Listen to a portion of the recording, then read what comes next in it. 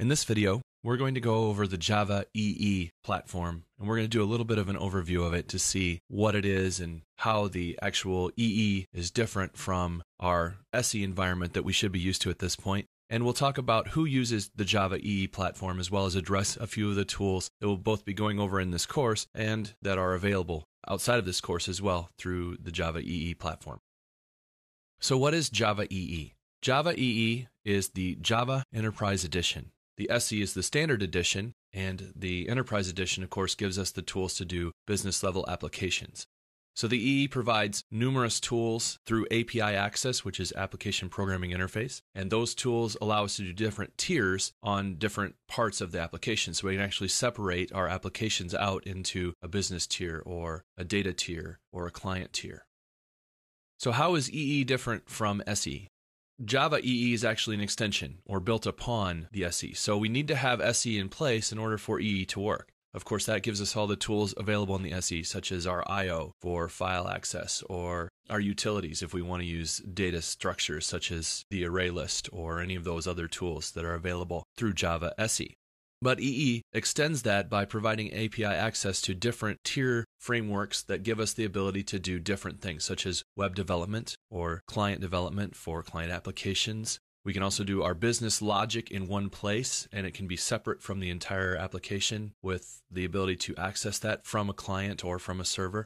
And then, of course, there's information tiers, such as our database and our connectivity to databases and things like that. So each tier has its own separate set of tools, and those are all available to the EE platform. And that allows for many different ways to actually develop applications. So, based on enterprises, it may be used in different ways. There may be different tool sets that are required at different jobs. So, who uses Java EE?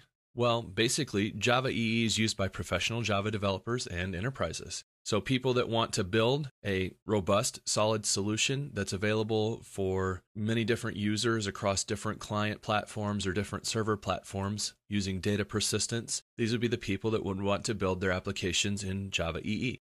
So, we have different components and different tiers as we go throughout Java EE.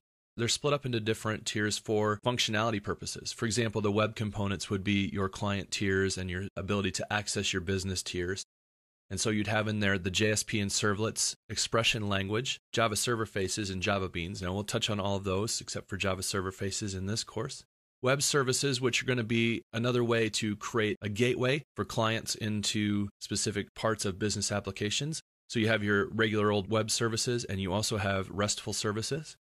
We also have the data access tier in the Enterprise Edition, which gives us our JDBC connectivity, which we'll use in this course as well. And there are two other things going along with that that we won't touch on in this course, but you can look into after you've learned about the tools in this course, which is the Java Persistence API and the Java Transaction API. And then there's the business tier, which has persistent entities and enterprise Java beans. So basically, what we've seen today is that Java EE is a critical framework for professional web development, professional business development, and enterprise applications in Java. The Enterprise Edition relies upon all the knowledge and tools that we've already gained and all of the things available from the Standard Edition, but essentially now we have the ability to extend that, and our enterprises can choose the different technologies they want to integrate. And because of the API and tiered access, you don't need to know all of them, and you may never work with one or the other, but you know that they're all there available, and depending on the solution that you need, you choose the best path to provide that solution based on the tools that are available.